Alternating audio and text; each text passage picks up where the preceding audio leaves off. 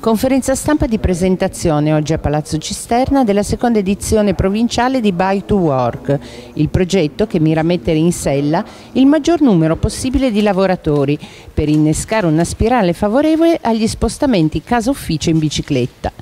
By to Work, una delle iniziative che fanno parte della settimana europea della mobilità, in programma dal 16 al 22 settembre, si appoggia da quest'anno sulla piattaforma del progetto Horizon SETA del Comune di Torino. Grazie a un'app scaricabile sul proprio smartphone, dal 2 ottobre sarà possibile iscriversi e poi partecipare alla gara che metterà in competizione enti e aziende del torinese, suddivisi in diverse categorie a seconda del numero di dipendenti. Il concorso durerà dal 10 ottobre al 31 dicembre. Ogni singolo partecipante inserirà nello smartphone i dati dei propri spostamenti casa-lavoro e alla fine risulterà vincitore l'ente o l'azienda con il maggior numero di dipendenti pedalatori e con il maggior numero di chilometri percorsi.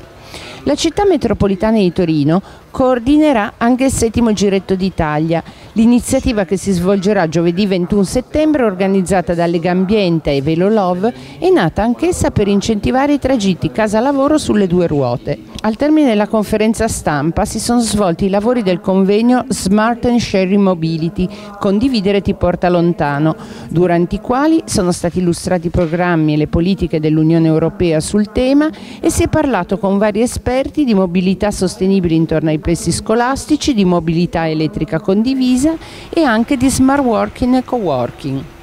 Mobilità sostenibile alla base del radicamento e dell'usufruire di tutti quelli che sono i diritti inalienabili di un uomo che vive nell'ambito di una città metropolitana. Per cui bisogna investire su questo, ad oggi noi utilizziamo i progetti europei, però almeno personalmente io auspico che possa essere finalmente anche un investimento di natura economica, quindi finanziaria, da parte delle istituzioni e quindi da parte dello Stato, perché se non si migliora la mobilità in ambito metropolitano e se non, la si rende sostenibile, non vengono e non diventano strutturati i progetti che noi oggi portiamo in visione a tutti gli stakeholders, ci ritroveremo a non poter più colmare in breve tempo quel gap che ci separa dai paesi del nord Europa. Le città sono sempre state degli spazi condivisi e sono negli ultimi cento anni che con l'avvento dell'automobile si, eh, si, è approcciato il tema della mobilità in maniera funzionalistica, quindi separando i flussi eccetera. Adesso con la crescita delle città e l'urbanizzazione sta diventando sempre più necessario mischiare eh, le varie modalità. Ora, quali sono i vantaggi? Che eh, facendo un mix tra modi, bicicletta, trasporto pubblico, e automobile a bassa velocità il sistema acquisisce maggiore efficienza. Efficienza perché eh, le persone negoziano, sono forzate a negoziare i propri spazi e allo stesso tempo a interagire per poter, eh, poter passare.